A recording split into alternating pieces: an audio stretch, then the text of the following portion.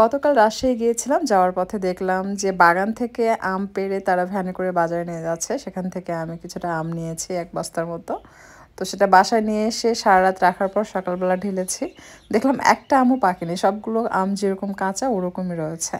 তো আপনাদের কি কারও জানা আছে যে কীভাবে আম রাখলে খুব সুন্দরভাবে পাকবে?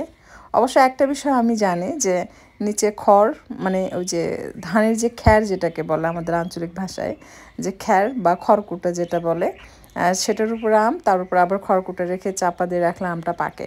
যেহেতু আমি শহরে থাকি সো এটা তো বাসায় নেই।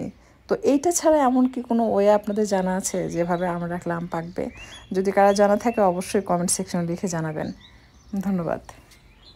আরেকটা বিষয় আপনাদেরকে জানাতে চাই। আমি আম কিনতে গিয়ে জানলাম যে রাজশাহীতে ছয়চল্লিশ কেজিতে ওরা বলল মেবি এক মন আমরা সবাই কিন্তু জানি যে চল্লিশ কেজিতে এক মন কিন্তু তারা ছয়চল্লিশ কেজিতে এক মন আম হিসেবে তারা সেল করে থাকেন। অনেকে আবার অনলাইনে কিন্তু এই রাজশাহীর আমগুলো সেল করে থাকেন। তো আপনারা নিলে জেনে রাখবেন যে ছয়চল্লিশ কেজিতে কিন্তু এক মন আম হয়। তো সেই হিসাবে আপনারা জেনে বুঝে আম কিনবেন।